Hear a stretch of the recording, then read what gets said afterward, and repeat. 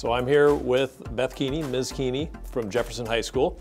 And uh, Ms. Kiene has been nominated, as have nine other teachers, 10 in total, from Bloomington Public Schools for Ed Minnesota's Teacher of the Year this year, which is an awesome honor and, and, a big number. So congratulations. Thank you. I fortunately was um, nominated by a former student, Summer Ann Walker, who's a current senior. And that means a lot. It, it, it's validating to know that I must be doing something right in the classroom. I really, really enjoy it. It's a chance for me to take the science that I really love and coordinate it with being with people and especially young kids, uh, which is kind of my forte. Really nice. And here I am. And, and here you are. We're glad to have you well, Jefferson. Thank you. It's good to be here. It's uh, my 20, I believe, 22nd year here. And I don't even really think about it as work. I think about it as a part of who I am. Mm -hmm. Not only uh, the instrument that I am as a guide to, to, to, students in the classroom, but also the collegial uh, atmosphere here at Jefferson. It's amazing. I love the staff. Um, the admin is wonderful. It just feels like a family and just an extension of my personal life I bring into a professional setting.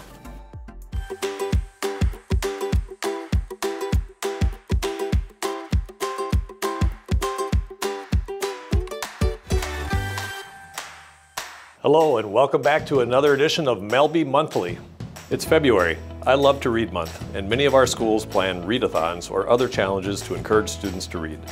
I personally love to read and love seeing our students enjoying it as well. We have amazing staff in the Bloomington Public Schools and it's nice to be recognized for your amazingness. So I'd like to highlight that this year we have 10 Bloomington teachers who have been nominated for the Education Minnesota Teacher of the Year Award. Very impressive.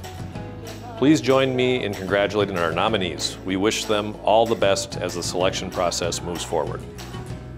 I had a chance to visit Mr. Jeff Zupfer's music class at Normandale Hills Elementary School and explore my musical side, learn about percussion, and talk with Mr. Z about what he loves most about teaching music.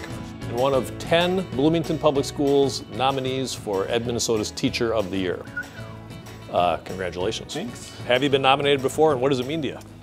Um, no, I haven't been nominated before. The awards thing is great, but really what mattered to me was in that nomination, just that parent saying how the music had really made a difference in their kids' yep. lives during distance learning, to have that connection of the videos and the music and all of that. And I mean, that's the part I value most, just knowing.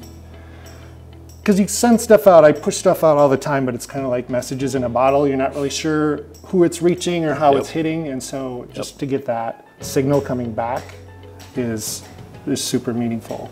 And I can just join in here somewhere? Yes. We're gonna be all right. All right. Yeah. All right. Okay. Okay. All right. All right.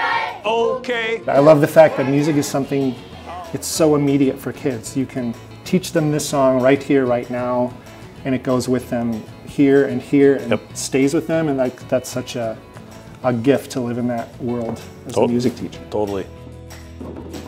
One of my favorite things about my job as superintendent is spending time in our schools and talking with students and staff. So many of our staff and teachers go above and beyond, going the extra mile to make a connection with a child, help all students have a positive school experience, or help their colleagues in big and small ways. That's the heart of what we do, caring for kids and caring for each other.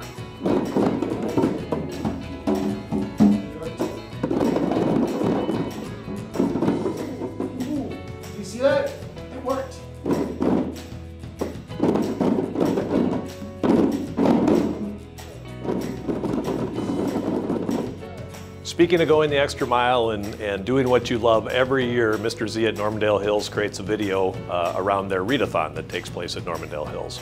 If you check out the link on the screen here, you'll be able to watch that video. I highly recommend it. And once again, thanks for tuning in and watching.